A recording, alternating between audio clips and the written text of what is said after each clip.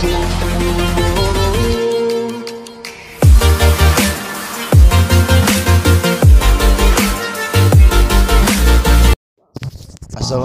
warahmatullahi wabarakatuh. Selamat pagi semuanya. Di video ini kita akan membahas mengenai fungsi Bank Indonesia Dan sejarah perbankan di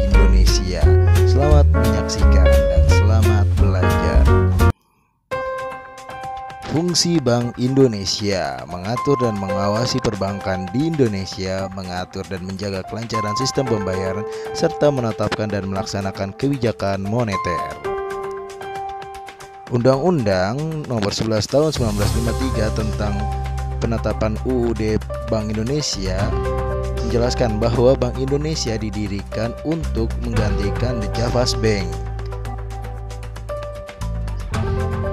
Pada November 1957 diadakannya musyawarah untuk pengambilan perusahaan-perusahaan Belanda yang ada di Indonesia termasuk bank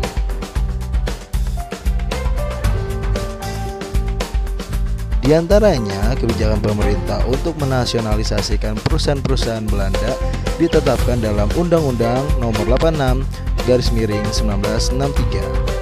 Bank Belanda yang dinasionalisasikan pada saat itu di antaranya seperti berikut ini.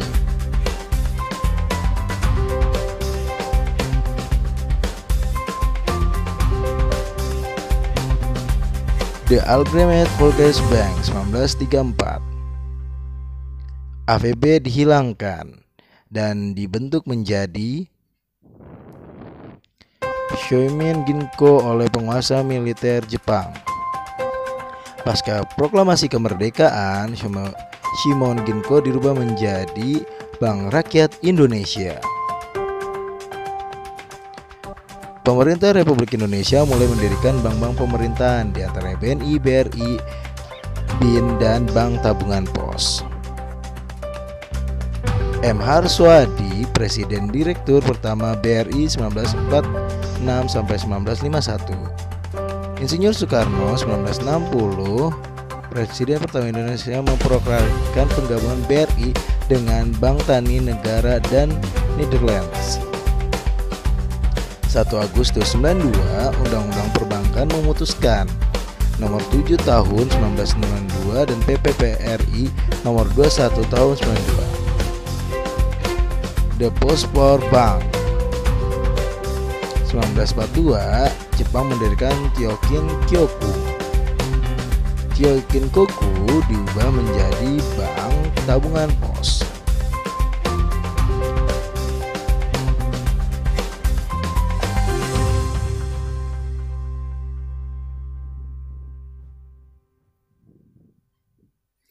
Tugas pertama kantor tabungan pos adalah menukarkan uang Jepang dengan uang Republik Indonesia. 1950 saat kantor tabungan pos diganti menjadi Bank Tabungan Pos RI dan pada tahun 1963 Bank Tabungan Negara atau BTN.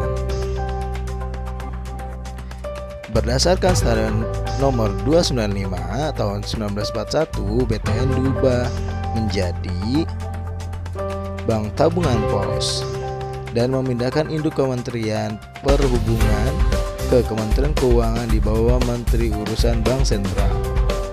Perubahan nama dari Bank Tabungan Pos menjadi Bank Tabungan Negara didasarkan pada Perpu nomor 4 tahun 1963 tanggal 22 Juni 1963.